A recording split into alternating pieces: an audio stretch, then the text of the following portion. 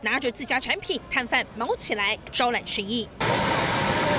排骨酥炸得金黄酥脆，夜市的小吃美食吸引爆满人潮。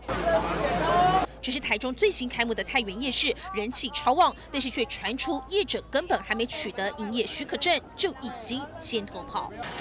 因为我们这个场主很有信心，因为我们跟这个场主都跟了一二十年了，我们跟他很久了。对啊，他他他会帮我们想办法啦。太原夜市原本是在东山路的东山观光夜市，业者提出申请移到太原路，目前还在审核阶段，却已经开始试营运。市府强调，只要超过三十摊营业，就要开罚五万至十万元。这就是一个。人少问题，啊，伊遐代嘛是爱生活，我唔是讲新的所，咱是旧的所，还都是配合伊自治条例辅导转型啊呢。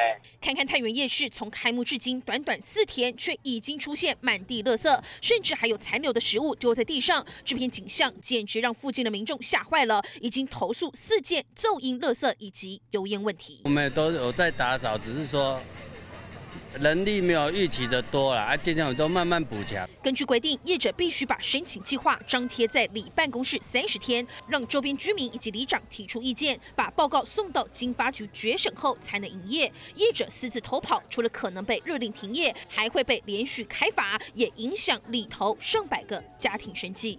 记者林建文、刘元斌、韩志新台中采访报道。